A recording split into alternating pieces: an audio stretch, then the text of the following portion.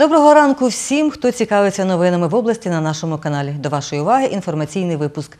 В студії ведуча Світлана Поробок. Фольклорно-етнографічне свято на Івана Накупала відбудеться завтра у селі Глібів Новоушицького району. Про це повідомила фахівець із соціальних питань селищної ради Віта Гонзолевська. За її словами, ініціатори свята Новоушицька селищна рада та Хмельницький обласний науково-методичний центр культури і мистецтва.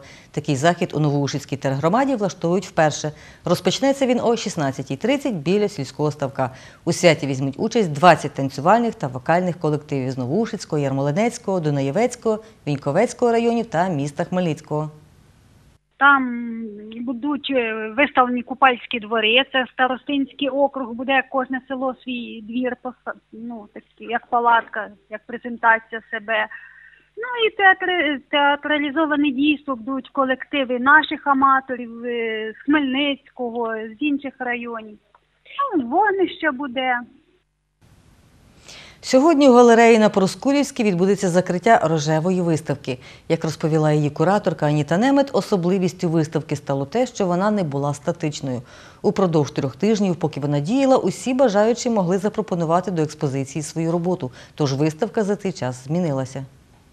Тому ми вирішили, що було б логічно, що ті люди, які потрапили на вернісаж, на відкриття, е, мають право побачити, чим закінчиться ця виставка. Тому ми організовуємо фінісаж, закриття, і е, воно відбудеться 5 липня о 5 годині, о 17 е, в четвер. І на неї ми запрошуємо художників, які долучилися під час існування цієї виставки, для того, щоб вони розповіли, чому вони вирішили потрапити сюди, можна сказати, втрутитися в експозицію.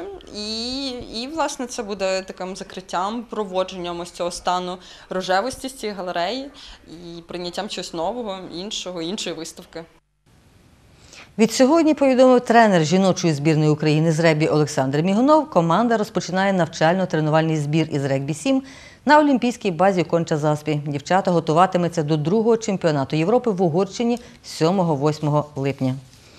Четверо спортсменів Хмельниччини сьогодні вночі вирушили в Одесу на Кубок світу з Годзюрю Карате-До, повідомив голова обласного осередку Федерації Годзюрю Карате Олександр Воробйов.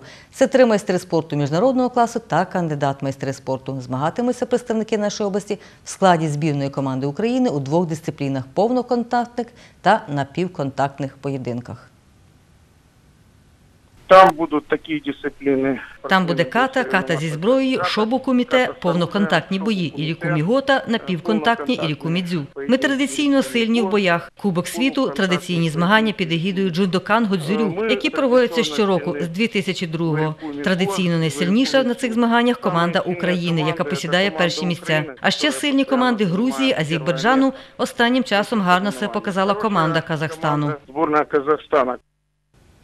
Кубок світу розпочнеться 6 липня та триватиме два дні.